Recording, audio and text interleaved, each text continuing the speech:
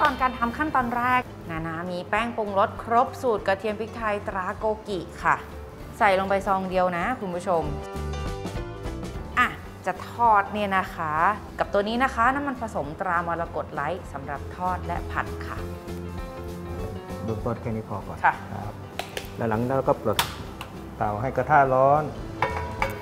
อกไก่นะคะ ใส่ลงไปในแป้งของเราเลย คลุกให้แป้งของเราติดทั่วทั้งชิ้นเนื้อสัตว์ของเรานะคะ หนูลงนะกับโอเคครับชิ้นต่อไป หลังจากที่เราทอดไก่ลงไปแล้ว ค่ะเชฟ เราก็จะพลิกดู โอเค มีความสวยงามนะของผิวของเนื้อสัตว์นะฮะอะอันนี้แค่นี้พอเพราะว่าเราไม่ต้องการให้สุกร้อยเปอร์เซ็นต์เพ ราะเดี๋ยวเราจะต้องมีน้ำกะทิที่เราจะต้องใส่ทำเป็นซอสโอเคเชฟคะเสร็จแล้วทำอะไรต่อคะ ก็เราก็จะใส่น้ำมันอีกนิดนึงได้ค่ะ เพราะเพราะเราจะทอดกระเทียม ใช้ขวดเดิมเลยคุณผู้ชม น้ำมันผสมตรามรกตไลท์สำหรับทอดและผัดนะคะ เราก็จะทอดกระเทียมก่อนนะทำให้สีอะโอเค กระเทียมพอเหลืองเกรียมได้ที่แล้วเราก็จะใส่หอมสับลงไป ขั้นต่อไปเดี๋ยวเราจะใส่น้ำสต๊อก ค่ะ น้ำสต๊อกนะคะ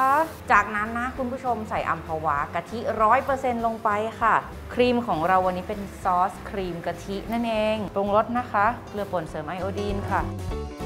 พริกไทยป่นนะคะ จากนั้นตามด้วยไก่นะคะอกไก่ของเราที่จี่ไว้นะคะพอร้อนๆกะทิใส่ลงไปแล้วเหมือนกับเราทำแกงนะค่ะก็หอมกลิ่นกะทิขึ้นมา เดือดแบบนี้แล้ว ฮะหลังจากไก่ที่เราเช็คดูแล้วว่าสุกค่ะ ทั่วถึงกันดีแล้ว เราก็จะเพิ่มชีสลงไปในในในตัวซอสตัวนี้ใส่เลยนะ ฮะพอใส่เสร็จแล้วเราก็รอให้เขาเดือดแล้วเราก็ตัดลงจานได้เลย ก็ซอสเราข้นดีแล้วนะฮะแล้วก็เราก็ปิดเตาปิดไฟครับผม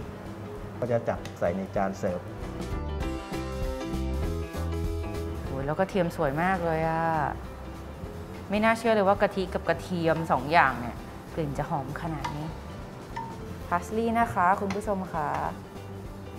โอเคนะคะเชฟ เรียบร้อยแล้วค่ะ เมนูวันนี้ของพวกเราอกไก่ทอดซอสชีสครีมกระเทียมค่ะ